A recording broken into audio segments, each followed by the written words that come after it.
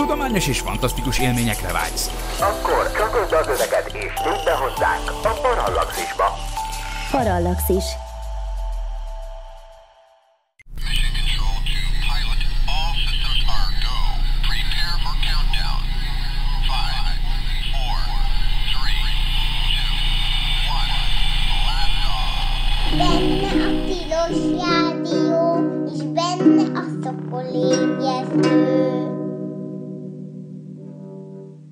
Jó reggelt kívánok! Ez itt a Tilos Rádió a 90,3 MHz-es frekvencia modulált sávon, benne pedig a Szokolébresztő műsora. Az én nevem Dr. MZ per vagyis Vince Miklós.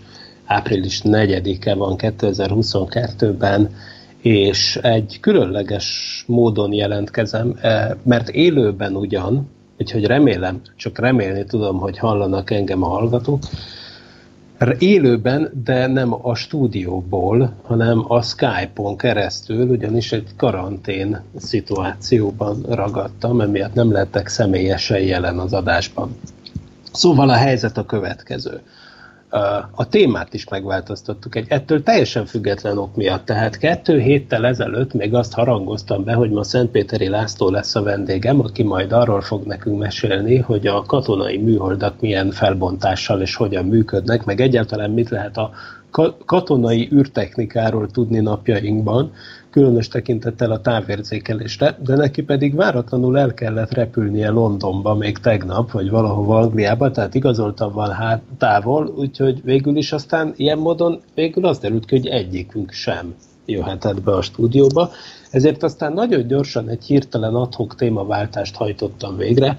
Hát ránéztem a naptárra, és megállapítottam gyorsan, hogy éppen 25 éve van annak, hogy hát az én életemnek legalábbis egy nagyon meghatározó üreseménye, hát nem megtörtént, de már készülődőben volt, ez pedig a Mars Pathfinder űrszonda leszállása, ami 1997-ben szállt le a Marsra. Igaz ugyan, hogy nem április 4-én, hanem július 4-én, de az űrszonda már 1996. december 2-a óta úton volt a Mars felé, és hát mivel, hogy úgy alakult, hogy most meg kellett így variálni ezt a műsorrendet, ezért úgy gondoltam, hogy oké, okay, akkor most ezt kivételesen egy negyed évvel, tehát exaktul három hónappal előre fogom hozni ezt az adást, tehát a Mars Pathfinderről fogok beszélni, illetve az oda vezető útról, ami egyébként egy nagyon izgalmas történet. Tehát ez az Egyesült Államok egyik legikonikusabb Mars szondája, tulajdonképpen ezt kijelenthetjük, és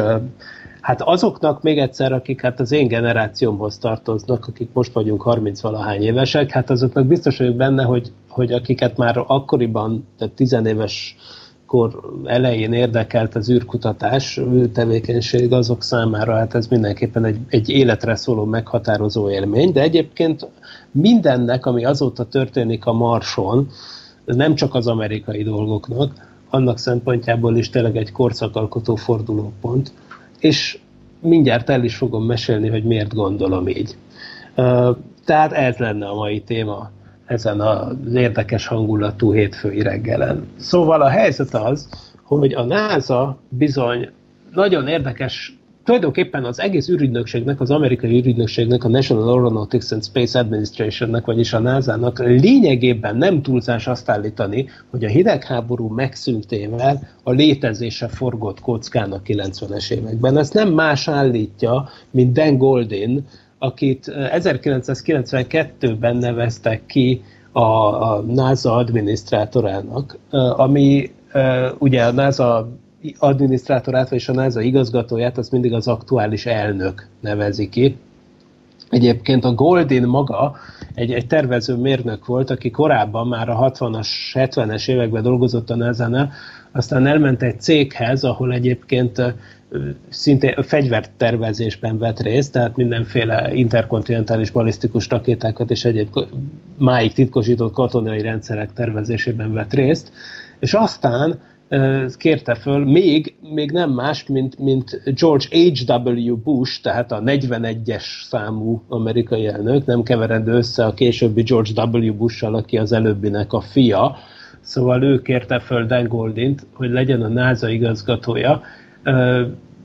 Épp, éppen akkor tájt, amikor a Szovjetunió összeomlott, ugye ez 1991-92, és hát egyértelmű volt akkor, hogy, hogy ugye az egész ürügynökség létezése tulajdonképpen nagyon nagy mértékben egy hidegháborús dolog volt. Eleve a NASA maga egy hidegháborús termék. Ugye ne feledjük el, hogy a NASA 1958-ban még Eisenhower elnök hirtelen felindulásból hozta létre, hogy, hogy egy ernyő elé e, e, e, egy ernyő alá próbálja terelni azt az addig eléggé szétszórt, és emiatt nem túl produktív különböző kutatásokat, amik valamilyen módon az űrtevékenységhez is kapcsolódtak, és ebből lett a, a, a NASA. Ö, és egyébként már akkor egyébként egy, egy fontos részleg, aminek sok szerepe lesz ebben a mai történetben, az a Jet Propulsion Laboratory Kaliforniában, Pasadena-ban. Hát Pasadena az tulajdonképpen LA-nek egy elő, elővárosa, külvárosa Kaliforniában, ami arról nevezetes, hogy ott van egyébként ugye a California Institute of Technology, vagyis a Caltech, a világ egyik legkomolyabb és legmenőbb műszaki egyeteme. És ennek az egyetemnek a kampuszán, ennek a berkein belül jött létre lényegében a Jet Propulsion Laboratory, amelynek az alapítója nem más volt, mint a magyar Kármán Tódor. Ugye Kármán Tódor, aki hát zseniális magyar fizikus volt, és és egyébként, hát ő politikailag is aktív volt annak idején. 1919-ben egyébként a Kármán Tódor valahogy úgy, úgy esett és úgy puffant, hogy a világtörténelem, hogy ő még egyébként köznevelési népbiztosként is funkcionált a tanácsköztársaság kormányában, nem nagyon volt ideje semmit csinálni, de az biztos, hogy, hogy egyébként elég progresszív, nem volt igazából kommunista Kármán, de, de valahogy bevették ebbe, és elég progresszív elképzelései lettek volna. Például már akkor felmerült, hogy létre kéne hozni egy atomfizika tanszéket Budapesten, ami óriási nagy fordulat lett volna, hogyha valóban akkor a kvantummechanika előtt tulajdonképpen, tehát már 1919-ben létrejött volna egy ilyen modern fizikai tanszék, hát végül is és hasonló elképzelései voltak neki, mindenféle újító gondolat, aztán persze értelmszerűen ebből nem lett semmi. Utána ő kiment egyre nyugatabbra, végül természetesen, mint Hitler hatalomra került, ugye zsidó származásúként a Kármán Tódor nem maradhatott Európában sem, pedig korábban egyébként Hollandiában volt, és aztán ment tovább az Egyesült Államokba, ahol ugye nagyon-nagyon fontos szerepe volt részint a sugárhajtóművek fejlesztésében is, részint pedig a szélcsatornák fejlesztésében. Ugye a szélcsatornák pontosan ahhoz kellenek, hogy a nagysebességű repülőgépeket megfelelően lehessen modellezni laboratóriumi körülmények között, és éppen ennek a jegyében e, alapította meg tulajdonképpen a Jet Propulsion laboratory ami tehát egy ilyen hát ma úgy mondjuk, hogy aerospace, de hát akkor meg úgy mondták, hogy aeronautical engineering, akkor még nem volt benne a space, tehát hogy a légi mérnökség nek ez egyik fellegvára volt. Ezt alapította meg a Kármán Tódor, tehát ez maga már az 1910-es évek óta létező ö, e, szervezeti egység volt, és igen, igen rangos, vagy bocsánatot kérek, hát 1920-as évek óta, ha jól emlékszem. Ugye hát a tízes években a Kármán az még nem volt kint. De a lényeg az, hogy, hogy bizony az van, hogy, a, hogy, hogy egy nagyon patinás intézmény volt a Jet Propulsion Laboratory. Hát részint ugye nem teljesen, de azért részint ugye ez is a NASA ernyője alá került például, meg még sok más intézmény. Szóval ebből állt össze a NASA, ami tehát egy hidegháborús konglomerátum volt ilyen módon, természetesen ennek megfelelően, mivel a presztízs értéke az űrkutatási tevékenységnek igen-igen jelentős volt, ezért igen magas költségvetésekkel dolgozhatott a NASA. Ne felejtsük el, hogy a fő prioritás aztán az ember holdra juttatása lett, ami ugye 1961-ben lett elhatározva Kennedy híres beszédében, és aztán végül 1969-re sikerült is, de hát emellett, és ezen felül és ezen túl azért a NASA rengeteg mindennel foglalkozott, és, és ennek egyik nagyon fontos és látványos, és ezzel presztízs meg tudományos szempontból is nagyon fontos ágazata volt a naprendszer kutatás. Ebben a naprendszer kutatásban egyébként éppen ez a JPL járt élen. Egyébként a JPL-ben szerelték össze az első amerikai űrszondát, ö, bocsánat, műholdat is, tehát konkrétan az első dolog, ami a, a, ami még a NASA létrejötte előtt egyébként, 1958. január 31-én feljutott az űrbe Amerikából az Explorer egy műhold, ami rögtön fel is fedezte a földsugárzási vezetét az űrben, a Van Allen övet, amit egyébként a JPL egyik munkatársáról, a Van Allenről neveztek el, aki azt a műszert építette lényegében egy, egy sugárzásmérő eszközt, ami erre a műholdra felkerült.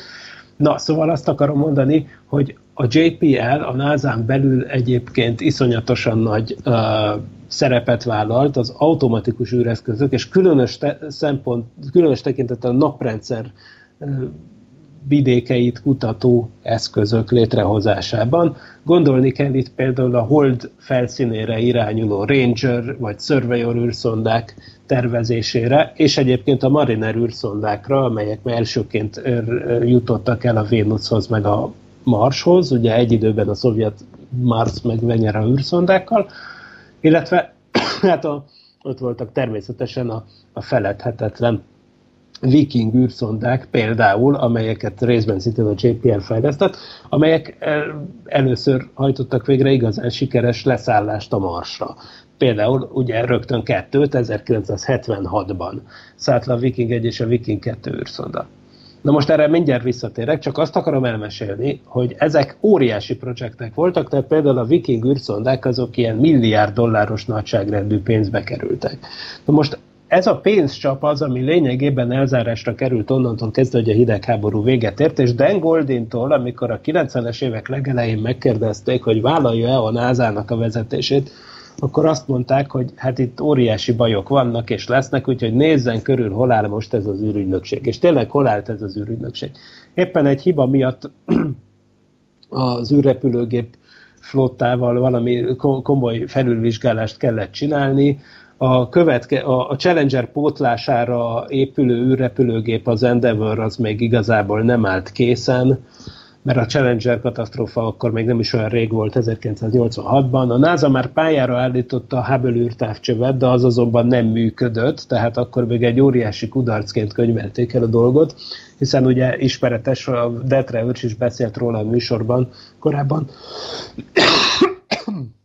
hogy a Hubble űrtávcsőnek a fő tükre, az ugye egy, egy hiba miatt rosszul lett lecsiszolva, tehát az űrtávcső az nem működött, Úgyhogy, és pedig rengeteg pénzbe került, tehát nagyon heves támadások érték egyébként a nasa többek köztem miatt is. Ott volt egy nagy űrszonda, amit sok halasztás után végre sikerült elindítani a Jupiter felé, ez a Galileo űrszonda volt, ám de az is kb. romos állapotban haladt a Jupiter felé, mert a nagy antennája nem nyílt ki, tehát azt már rögtön lehetett tudni, hogy ha sikerül is a küldetés, akkor is csak sokkal kevesebb mennyiségű adatot tudnak majd az űrszondáról lehívni, mint amennyit lehetséges lett volna eredetileg, szóval nagyjából, és akkor egyébként konkrétan világossá tette a, a, az, elnök már akkor, hogy bizony e, itt, itt egyszerűen az van, hogy az a növekedési pálya, amit a korábbi tervek alapján be terveztek a NASA-nak, az teljesen tarthatatlan, sőt igazából 1992-től kezdve egy stagnáló költségvetésre számíthat, miközben egyébként borítékolható volt, hogy jó nagy infláció lesz. Ugye ez azért is, azért is lehetett egyébként óriási nagy ilyen sok, mert például alig egy-két évvel korábban, 1989-ben maga Bush elnök még azért kardoskodott, hogy legyen ez a Vision for Space Exploration nevű terv, ami a lényegében azt irányozta elő, hogy egy hogy egy emberes marsutazást valósítsanak meg 2019-re. Ugye 2019 nagyon messze van 1989-től, persze, tehát egyértelmű, hogy itt nyilván egy hosszú távú tervről volt szó, ami jelent, jelzi is eleve, hogy talán nem gondolta komolyan a Bush annyira, mert a politikusok általában, amit a 8 éves maximális ciklusokon túlra gondolónak hosszú távú tervnek, az csak mérsékelten tekintik fontosnak. Ugye Amerikában, Magyarországgal ellentétben, ugye létezik ez a limit törvénybe iktatva, hogy egy elnök az e, e, összesen csak 8 évig lehet az Egyesült Államok elnöke. Na mindegy, a lényeg az, hogy ennek ellenére a George Bushnak óriási marskutatási víziói voltak. Egyébként ezt aztán a kongresszus nem szavazta meg, pedig hát ez nyilván egy több száz milliárd dolláros projekt lett volna, egy emelkedő NASA költségvetéssel. Még egyszer a Szovjetunió összeomlása ezt így kb. lefejezte, és akkor a Dan Goldinnak az volt a feladata, ezt egyébként meg is mondták neki, hogy vagy rájön, hogy hogyan kell a NASA-t úgy üzemeltetni, ami teljesen más, mint ahogy eddig ment, vagy lényegében le lehet húzni a rolót, tehát a NASA meg fog szűnni.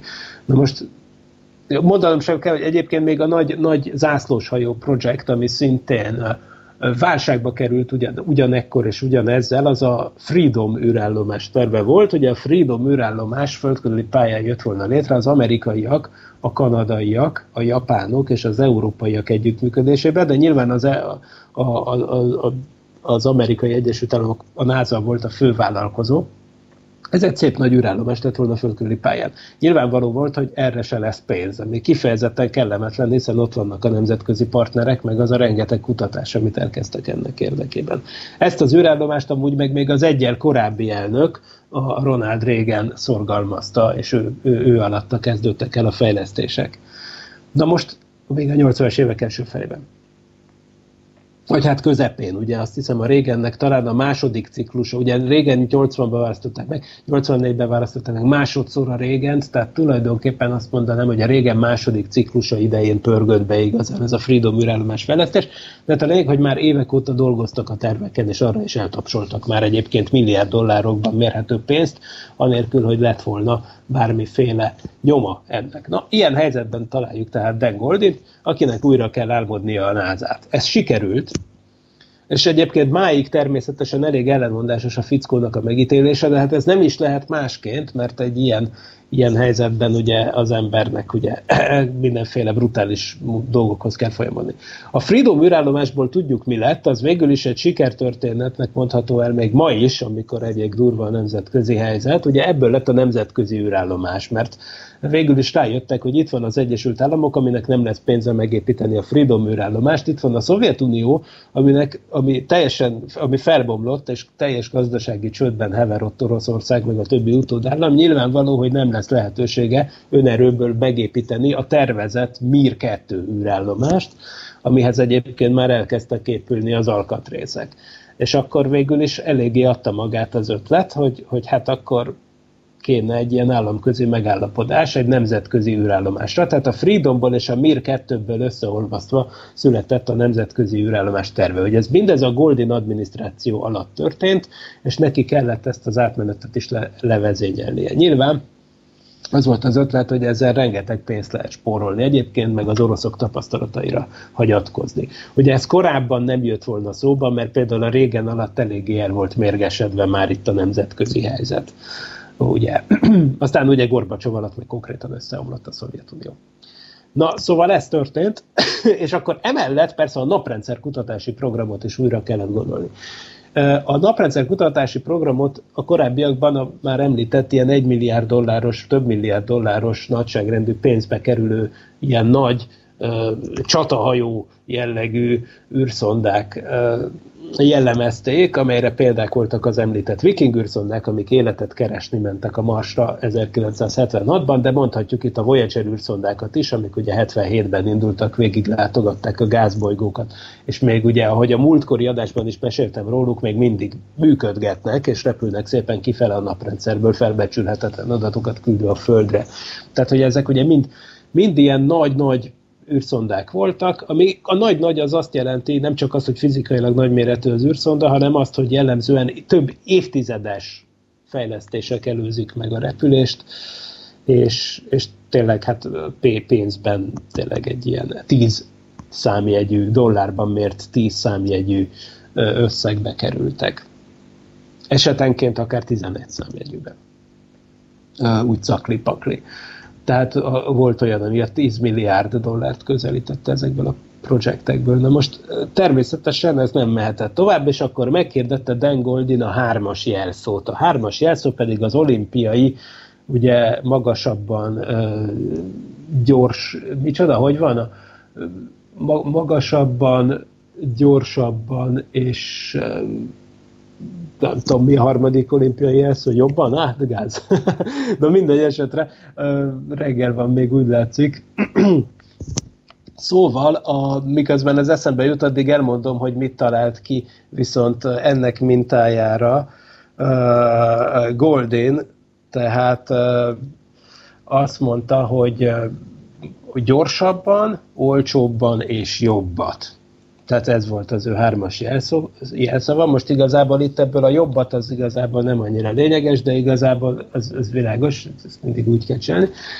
De a, azt hiszem erősebben egyébként a harmadik olimpiai jelszó, közben eszembe jutott. Egyébként ez annyira benne volt a légkörben, mert 1996-ban ugye például Atlanta, Atlantában volt az olimpia, és egyébként a Goldin nagyjából akkor tájt jött elő ezekkel a jelszavakkal, tehát hogy, ki, hogy, hogy gyorsabban, olcsóbban, jobbat ötlet. Most a gyorsabb az űrszondákra vonatkozó ötlet, ami azt jelenti, hogy, hogy nem csak az, hogy repüljön gyorsan az űrszonda, sőt, hanem az, hogy gyorsabb legyen a fejlesztési terv. Tehát nem több évtizedes idő, vagy nem tíz év alatt fejlesztenek egy űrszondát, hanem csak néhány év alatt. Ugye világos, hogy az ilyen kormányprojektekben, mint amilyen ez is, ugye a, a pénznek a túlnyomó többségét az viszi el, hogy évtizedeken keresztül, vagy éveken keresztül ugye fizetni kell a közalkalmazottaknak a pénzt.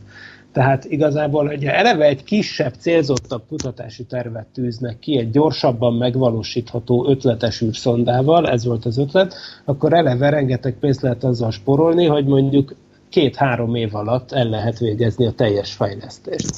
Ami teljes egészében szemben ment a NASA-nak addigra kialakult kultúrájával. Ez nagyon emlékeztet a NASA korai kultúrájára egyébként, ami a 60-as évek eleje, amikor tényleg így mindent így egyik napra a másikra kellett csinálni, mert annyira pörgött az űrrendszer. Ez az a kultúra, amit egyébként maga Goldin még úgy személyes tapasztalatból ismerhetett, hiszen én említettem, hogy korábban ő maga is a NASA-nál dolgozott, pont azokban az években, de aztán később ugye a 70-es, főleg 80-as éveken ez így elkényelmesedett, felhigult, e, ilyen igazából nagy, óvatos, terebélyes, administratív, lassú, mozgású szervezetté vált a NASA, és ez igaz volt egyébként az űrszonda a naprendszer kutatási programokra is. Tehát ott volt például, hogy, hogy példaként mondjuk az utolsó ilyen nagy csatahajószerű űrszondák egyike a Cassini, amit ugye a, a 80-as években kezdtek el fejleszteni, végül 1997-ben indult el, ugye azt a fejlesztési projektet már nem állították le a Goldinék, tehát ez úgy ment a maga medrében, pedig persze többször felmerült, hogy meg kéne szüntetni, ez a Saturnushoz repülő buszméretű hatalmas űrszonda volt, amit 97-ben indítottak el. Ugye ez például egy tipikus példája volt ezeknek a klasszikus nagy fejlesztési terveknek. Na most ugye ehhez képest az ötlet az volt, hogy tehát gyorsan egy kicsi űrszondát, ami egyszerűbb, néhány év alatt úgymond összedobni. Nem baj az se, hogyha nem feltétlenül sikerül, mert az még mindig anyagilag jobban megéri, hogyha van több pici űrszonda, amiből felküld az ember hetet, és abból öt működik. Nyilván egy ilyen rizikó arány egyébként egy nagy csatahajó típusú űrszondánál egyébként teljesen elfogadhatatlan, amire ráköltöttek több milliárd dollárt, de mondjuk egy olyan űrszondánál, ami 150 millió dollárba kerül cakli-pakli a fejlesztés, ott lényegében ez vállalható, és akkor ezzel további költségcsökkentések lesznek lehetségesek. Tehát ilyesmi elvek mentén kellett teljesen újra tervezni a nasa és azon belül az említett JPL-t, ugye mondtam, a JPL vált az évek során, a, ami ugye eredetileg sugárhajtómű laboratórium, ahogy a neve mutatja, Jet Propulsion Laboratory, ugye volt a Kármán idejében, de hát ugye onnantól kezdve a naprendszer kutatás egyik fellegvárává vált, és hát ennek megfelelően ugye ott készültek, a, ott készült egy csomó ilyen nagy naprendszerkutató űrszonda, rögtön azt mondta a Golden, hogy figyeljetek, vagy bezárjuk a JPL-t, vagy pedig tessék ebben a munkamódszerben dolgozni. Ezt meg is hirdette ezt a dolgot, úgy hívták, hogy Discovery program. Tehát Discovery-nek hívták ezt az olcsó, rövid lefutási idejű űrszondák programját, és rögtön annak az el, egyik első megnyilvánulása volt a NIR űrszonda, ami szintén egy 1900 korábban indult, valamikor talán 94-ben, de 97-ben ért célba, ami egy igen látványos dolog volt, egy nagyon egyszerű űrszonda, tulajdonképpen bármilyen űrszonda megtette volna, tehát tulajdonképpen egy négy napelemmel és egy ellátott, és egy parabola antennával ellátott, és kamerákkal, meg néhány érzékelőkkel ellátott ilyen, hogy hívják, mosógép nagyságú űrszonda volt, amit tulajdonképpen bármi más célt is elláthatott volna, tehát mehetett volna a hold körüli pályára, vagy mehetett volna a föld körüli pályára, műholdra, mert minden, de itt az volt a nagy ötlet, hogy ezt küldjék oda, egy zseniális pályatervezési módszerrel egy kis bolygóhoz, hogy a körül keringjen, és ez így is történt, az Érosz kisbolygó körül pályára állt, ez volt az első eset, amikor egy emberi űreszköz egy kisbolygó körül állt pályára, Úgyhogy ez egy óriási siker volt, de hát nyilván a nagy gurítás az a második Discovery űrszonda volt, és ez volt a Mars Pathfinder. Most a Mars Pathfinder az azért egészen szenzációs, mert úgy indult el 1996. december másodikán, hogy lényegében csak három-négy évvel korábban kezdték meg az egésznek a fejlesztését, tehát akkor rajzolták le papírra, hogy miről van szó, 150 millió dollár volt az összköltségvetés, és ezt nem is lépték túl. Tehát időre teljesítettek valamit, és költségvetésen belül. És ráadásul úgy, hogy ez, ennek az új idők új szeleinek megfelelő egyik első űrszonda volt, tehát ez mindenképp egy elképesztő már önmagában kimondani, és a NASA-n belül, meg a JPL-en belül sem jellemző. Egyszerűen azt mondták így utólag, egy visszaemlékezésen a projektvezetők, hogy tényleg annyira megijedtek, hogy a Golding komolyan mondja, hogy, hogy elkaszálja a projektet, hogyha túllépi a 150 milliós küszöböt, hogy igazából kreatív megoldások sokasságával ezt sikeresen elkerülték. Na de nézzük, mi ez az űrszonda, ez a legendás űrszonda, meg hogy eleve még egy dologra fölhívnám a figyelmet, hogy amit a neve is mutatja, persze ez a Marsra ment, de 1996-ban indult a Marsra, ami, eh, ma, ami igazából ugye több mint 20 évvel azután volt, hogy az Egyesült Államok utoljára megcélozta a marsot, mármint hogy leszálljon a marsra. Mert a viking űrszondák, amik ugye a 70-es években leszálltak oda, azok konkrétan olyan ambiciózus célral mentek oda, hogy megválaszolják a nagy kérdést, van-e, vagy lehetséges-e élet a marson. Ugye ennek a kiderítésére az űrszonda pár, két ugyanolyan leszálló egység, ilyen mintavevő karokkal mintát vett a Mars felszínből, azokat meg is vizsgálták. Mi három különböző kísérletben kerestek életnyomokat, három különböző módszerrel. Az egyik például az, arra, azzal volt kapcsolatos, hogy fölhevítik a mintát, és megnézik, hogy milyen gázok jönnek belőle ki. Hogy például, ha kis élőlények vannak, amik ennek hatására meghalnak, azok úgymond kilehelik a lelküket, azt mindenféle spektrométerrel ki lehetett volna mutatni stb. stb. Voltak kísérletek. Most a három kísérletből kettő viszont egyértelműen arra utalt, hogy nincs élet, a harmadik pedig olyan adatokat szolgáltatott, amiken máig vitatkoznak, de összességében az a kép rajzolódott ki, hogy a Marson jelenleg nem hogy élet, de ami különösen sokkoló volt, még szerves anyag sincs a felszínen. Mert hogy ugye a kozmikus sugárzás, ami mágneses tér híján a nap Mars felszínt közvetlenül éri, az annyira idegen környezet, hogy egyszerűen nem maradnak egyben azok a kötések, amik a szerves molekulák összetartásához kellenek. Tehát ha volt is valaha ilyen, a Marsnak a múltjában, amikor még volt neki egy mágneses tere, ugye ezt tudjuk, hogy volt, ezt már a viking kéréséből is egyébként lehetett tudni, de azt is tudjuk, hogy most már nincs, és azt is tudjuk, hogy valószínűleg ezzel összefüggően egyébként a szerves is eltűnt a felszíről. Mondom, ezt azóta már vannak gyanús dolgok, hogy esetleg itt-ott metánt mintha észlelnének a marson, ugye ez nagyon fontos lenne, ha így lenne, bár legalább ilyen gyakran kiderül az is, hogy nem meggyőző a mérés. De ami lényeg az, hogy annyira elkedvetlenítette a kutatói társadalmat a Marstól a viking űrszondák eredménye, hogy igazából egészen eddig, a 90-es évekig fel sem merült, hogy egy újabb leszállóegységet küldjenek oda. Az sem volt éppen bátorító hatású, hogy azért egy keringő egységet küldtek volna, a Mars Observert, az még a régi időkben lett tervezve, tehát az még egy ilyen igazi nagy brutális milliárd dolláros szerkezet lett volna, egy nagy űrszonda a Mars Observer, ami azonban nem tudott 1993-ban Mars körüli pályára állni, mert valami miatt elkezdett pörögni, forogni, és, és megszakadt vele a kapcsolat, tehát igazából teljes kudarc volt az is. Tehát ilyen keretben, ilyen történeti előzmények után vágtak neki a Mars Pathfinder fejlesztésének.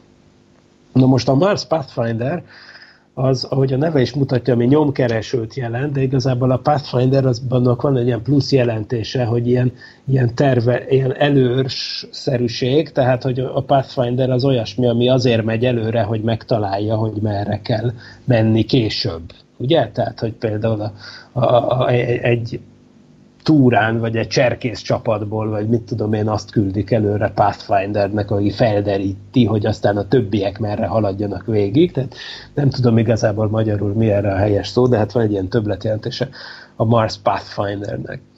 Na már most ö, olyan értelme is Pathfinder volt, hogy hogy rengeteg új technológiát gátlástalanul beletettek, amit meg soha nem próbált ki senki. Tehát egyértelmű volt, hogy az, hogy bele kell férni ebbe a 150 millió dolláros limitbe, az egyrészt eléggé korlátozó, hogy mennyi tudományos műszert lehet levinni, másrészt viszont ugye egyértelmű volt az is, hogy, hogy hogyha ezeket a tudományos műsz, műszer, tehát hogy az megvolt egyébként, hogy, hogy milyen rakétára lehet rátenni. Ez a Delta 2 rakéta, hát ez több nagyságrendel kisebb, mint ami a vikingeket vitte annak idején. A vikingeket a Titan 3 nevű nagy, nagy rakéta vitte, hát ehhez képest ugye itt a, ez a rakéta azt tette lehetővé, hogy a, a leszáll, hogy cakli-pakli a Mars légkörébe belépő tömeg az 566 kiló lehet. Na ez is csak akkor lehet 566 kiló, hogyha az űrszonda pályáját úgy tervezik meg, Na, oké, okay, menjünk másik irányból. A, a rakéta megszabta, hogy a Mars körüli pályára eljuttatható ösztömeg üzemanyaggal együtt az 870 kiló. Ennél nem lehet több. 870 kiló. Ebben benne kell, hogy legyen a pályavó, útközbeni pályamódosításhoz szükséges üzemanyag. Aztán egyébként viszont szerencsére lehet valamennyit játszani azzal, hogy milyen pályán repül az ember a Marsra.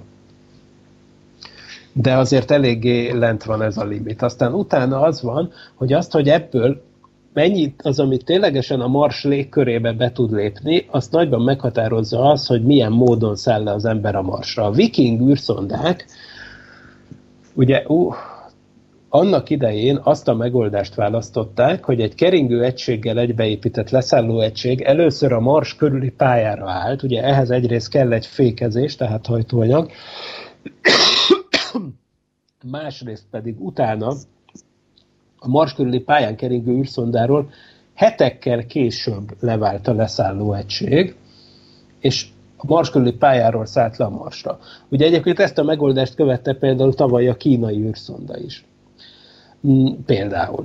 Na most ennek nyilván az az előnye, hogy előzőleg, hogy egyrészt pontosabban lehet a leszállást célozni, mintha úgymond direkt leszállással a Földről próbálná eltalálni az ember a leszállóhelyet, ami érezhetjük, hogy eléggé horrorisztikusan nehéz, és másrészt persze az is van, hogy, hogy, hogy hát időben, hogy, hogy, hogy arra is lehetőséget ad, hogy maga a keringő egység lefényképezze előzőleg a leszállóhelyet. Ez a Vikingnél egyébként nagyon hasznosnak bizonyult, mert hát ugye 1976. Júli, júniusában odaért a keringő egység Mars körüli pályára, még a Vikingnél, a Viking egy keringő egysége.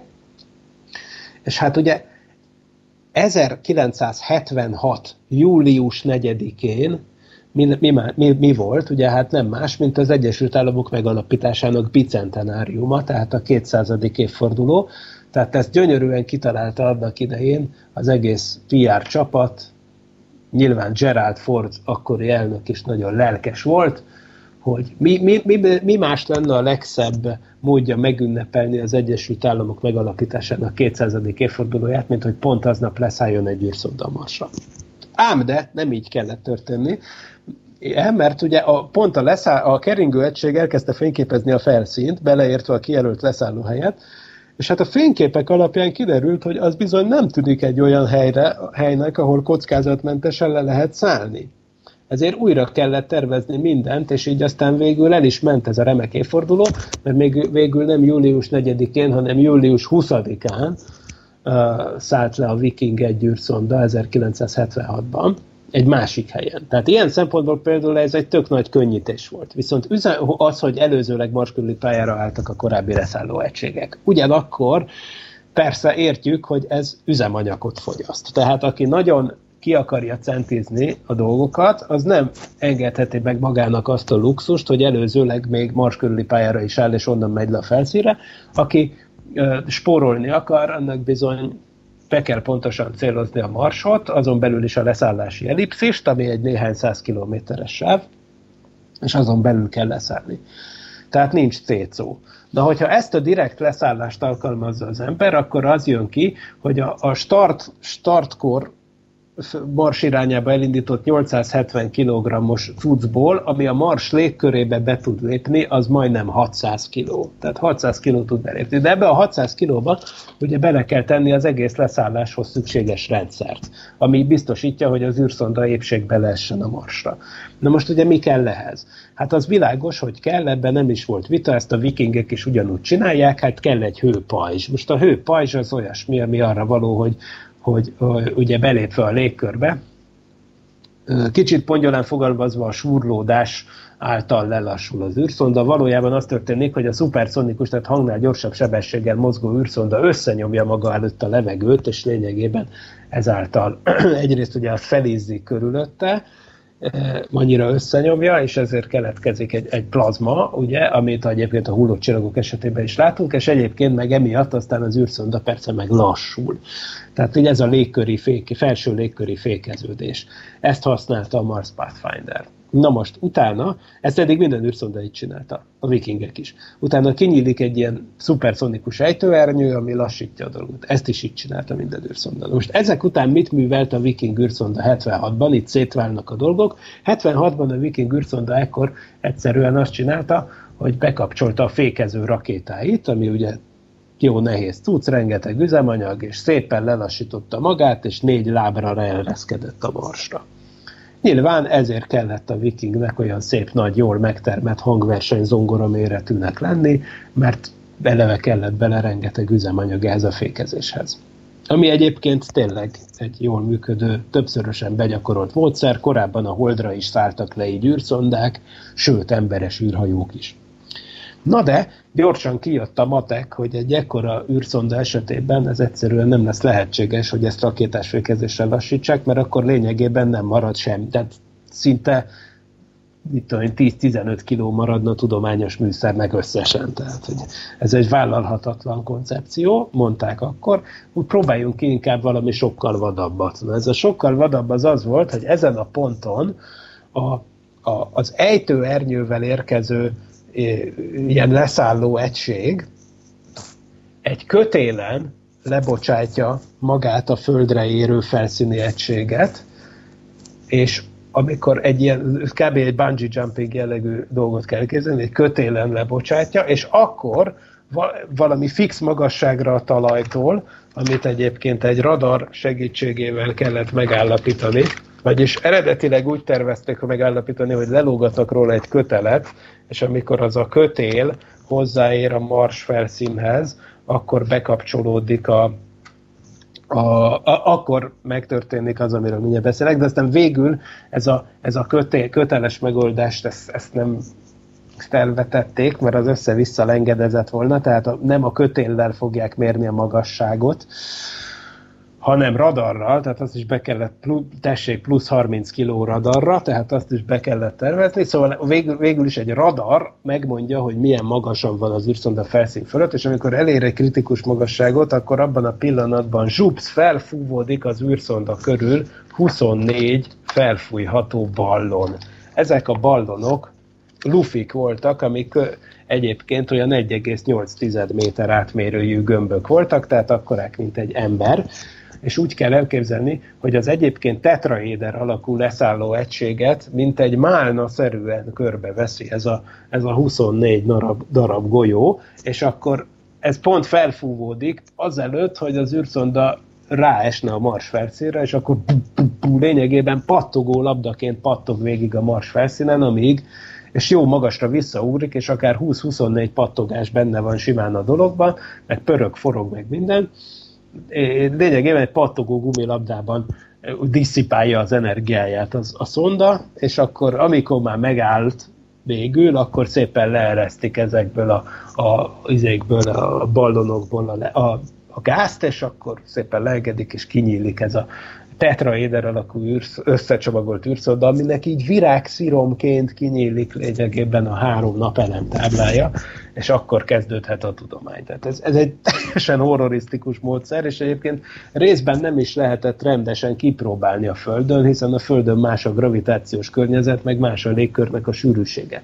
Tehát eleve korábban azért nem jött szóba en, e, ennek a a módszernek az alkalmazása az amerikai űrprogramban, mert még le se lehetett szimulálni, tehát ahhoz a 90-es éveket meg kellett várni, hogy a számítógépek olyan szintre eljussanak, hogy legalább ezt valamennyire le lehessen szimulálni, hogy ez hogy működik. Persze csináltak ilyen helikopterekről ilyen ejtős teszteket a Földön, remek videók vannak erről a YouTube-on, de hát összességében azért nem, nem sikerült eh, reprodukálni a marsi környezetet, tehát tulajdonképpen ez egy lutri volt, hogy sikerülni fog ez a brutális leszállási módszer, de hát végül sikerült. Na most ezt tette lehetővé végül, ilyen módon volt lehetséges az, hogy konkrétan a, az 566 kilós mars légkörbe belépős tömegből 500, 325 kilónyi cuccot konkrétan épségben le lehet juttatni a mars felszínére.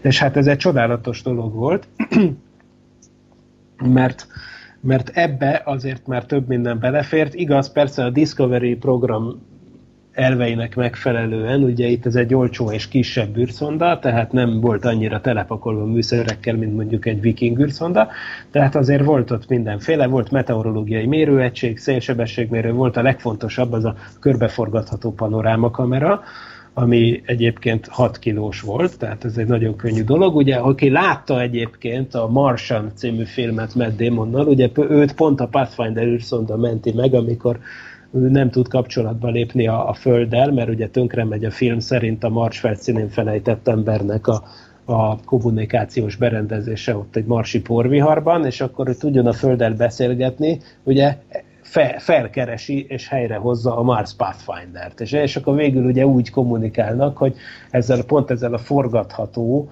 uh, kamera állványon körbe-körbe forgó panoráma kamerával uh, bizony uh, kommunikálnak. Na most, mármint hogy a Földről ugye olyan irányba forgatják a kamerát, hogy azzal valami módon információt lehet továbbítani, és akkor ezt így szépen kidolgozzák.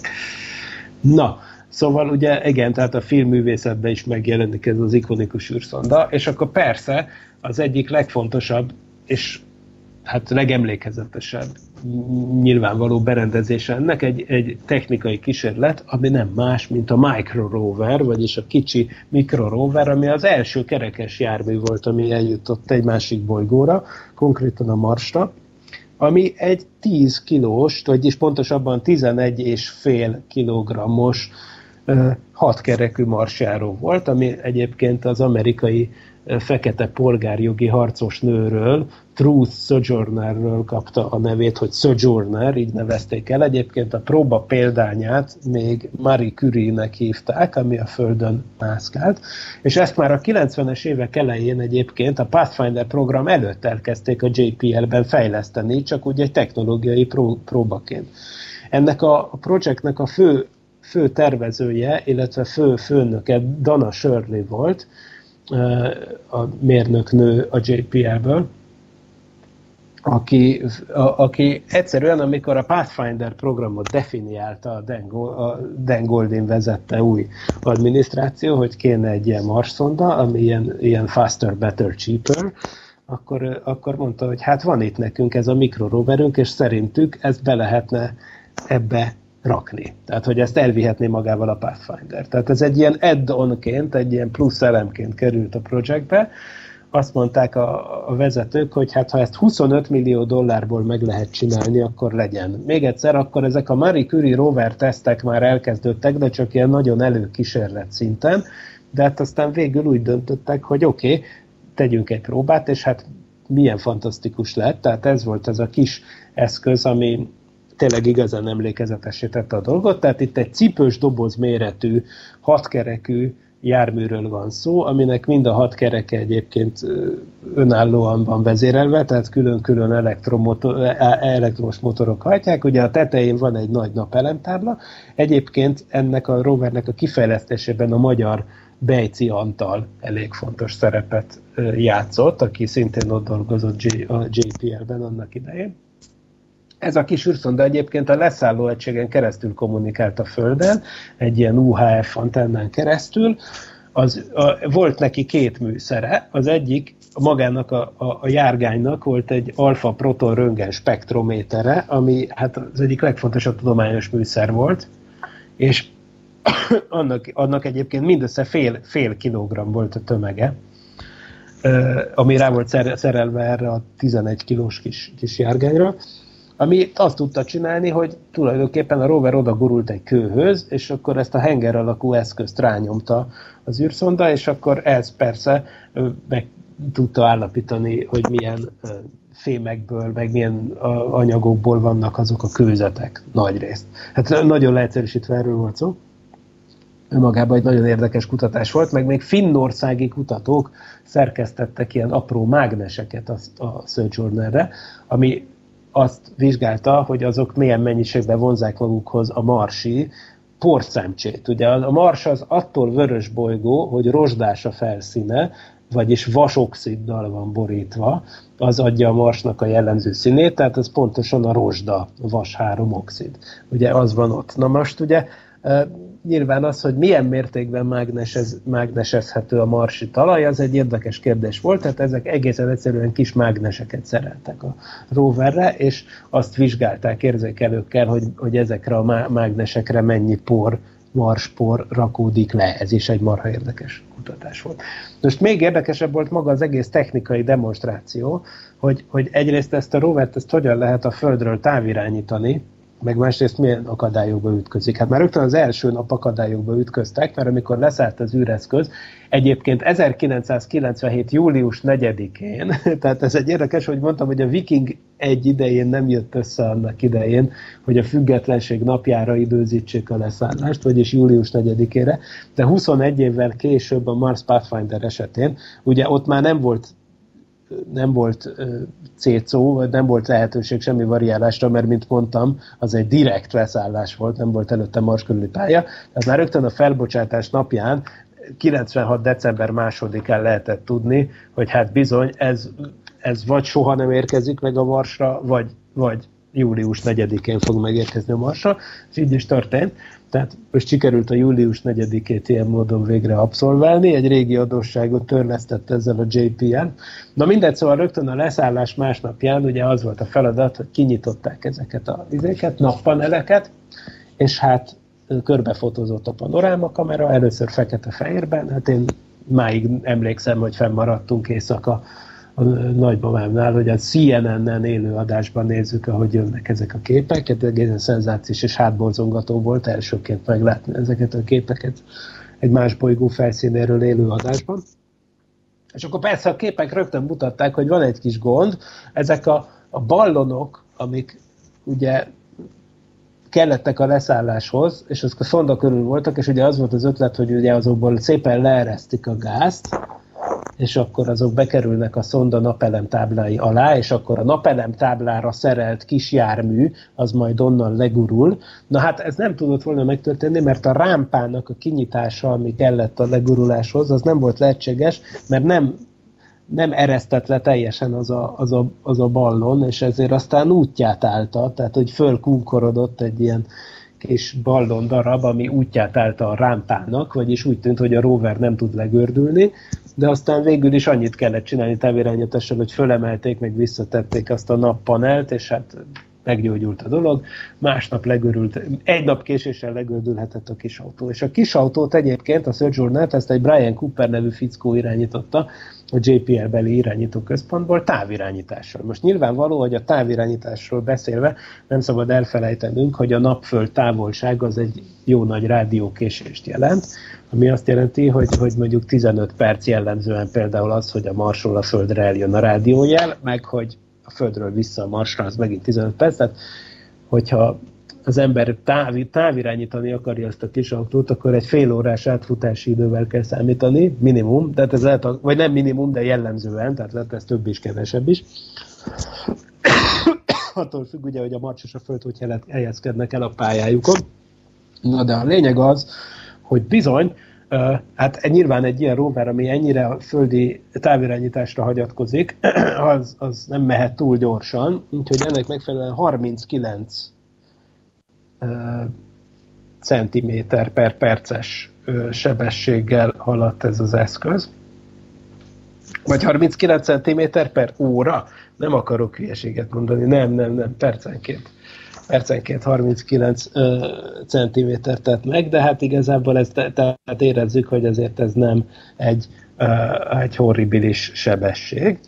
Szóval igen, és Brian Cooper volt az egyik irányítója ennek az üreszköznek, távirányítása Pasadénából. A, a kőzeteket egyébként mesefigurákról nevezték el annak idején, tehát a, rögtön persze a köveket, amiket föl kell keresni az űrszondának, azoknak nevet kellett adni értelemszerűen, hogy elmondhassák a médiában, hogy most éppen ezt meg azt a követ kereste fel az űrszonda.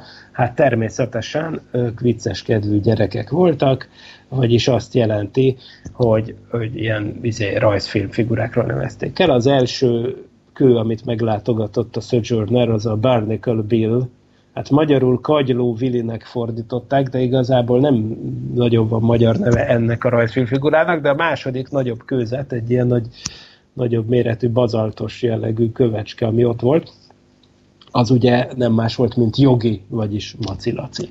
Na most az meg rögtön érdekes volt, hogy ezt a leszálló helyet, és ezt nem mondtam, egyébként érdekes, hogy ezt úgy választották meg eleve, hogy tudták, hogy itt aztán lesz látnivaló, és olyan hely, ahova a viking például nem tudott volna leszállni, de ezzel a brutális, pattogós, felfújhatós módszerrel lemerészeltek oda küldeni egy űrszondát. Egyébként pont a viking leszállóhelyeként is felmerült ez, csak aztán túl kockázatosnak ítélték. Tehát lehet, hogy pont itt történt volna a, a, az ominózus július 4-i leszállás 76-ban, lehet, hogy pont ez lett volna az a leszállóhely, ezt nem tudom pontosan, de a leszáll, fontolgatott leszállóhelyek között szerepelt ez az Ares Vallis, ami, ahogy a neve is mutatja, Ares ugye az a hadisten, tehát az a Marsnak a, a római megfelelője, a Vallis pedig völgy, tehát ez egy völgy, mégpedig egy folyó völgy, pontosabban egy kiszáradt folyónak a torkolata. Tehát ezt fölülről is lehetett látni a korábbi űrszondás képeken, amit ugye lehet tudni, hogy a Marson vannak ilyen vízfolyás nyomok, ugye ott valaha víz folyt, csepp alakú szigetek és hasonlók, és konkrétan egy ilyen torkolati vidéknél volt ez a leszállóhely,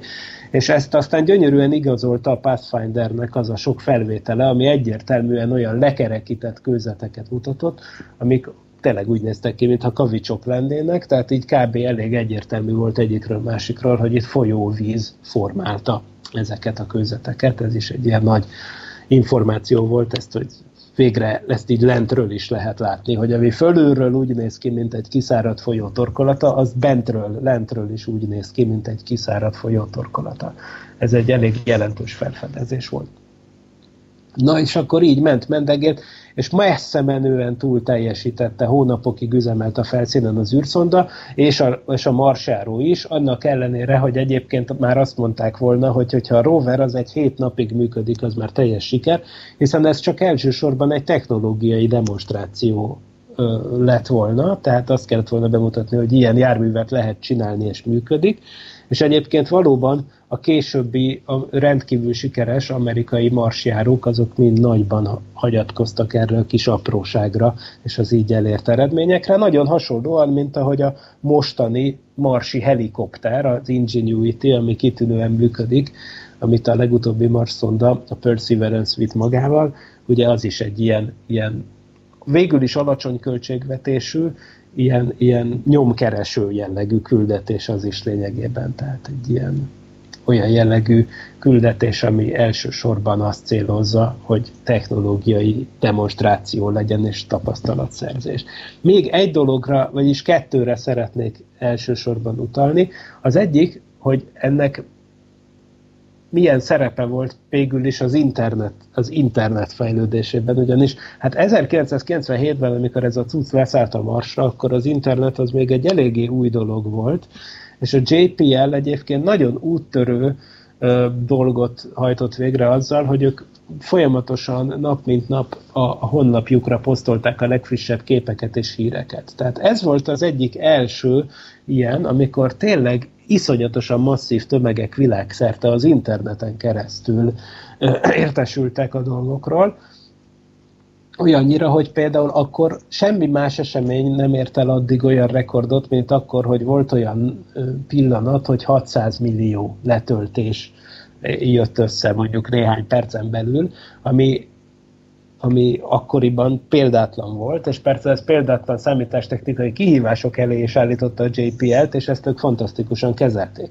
Tehát ugye ez még bőven a social media előtti korszakban volt, meg minden, de hát lényegében ez már megelőlegezi valahol azt, hogy ami most már teljesen természetes, és most már ilyen 600 milliós szám, mond csak mosolygunk, tehát most már simán előfordul, hogy egy közvetítést az interneten ennél többen követnek egyszerre, de, de hát akkoriban azért ez, ez, ez egy óriási nagy valami volt. Hát hogy ne felejtjük el, 97-ről beszélünk, tehát akkor így a Pentium egy volt a, a legfejlettebb processzor, meg ilyesmi, amit használtak, szóval mindenképpen egy óriási áttörés volt, és nagyon sokunknak egyébként az első internettel kapcsolatos élménye volt egyébként a Mars Pathfinder küldetése, egyébként nekem is.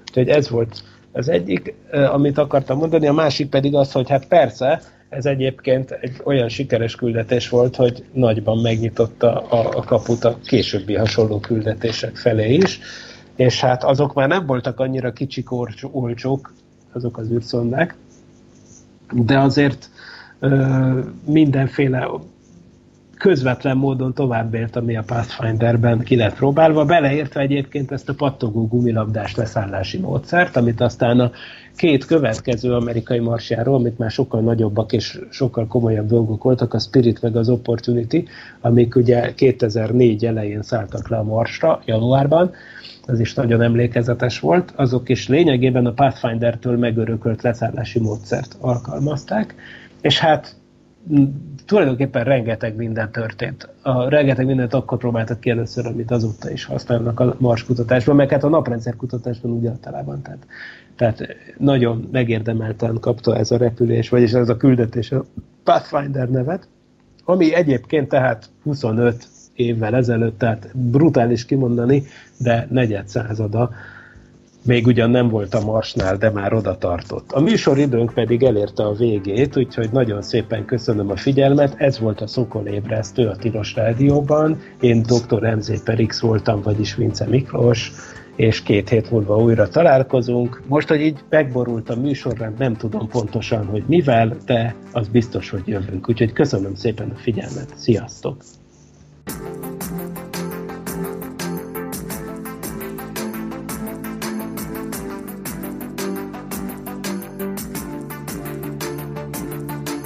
Hamarosan jön a következő rész.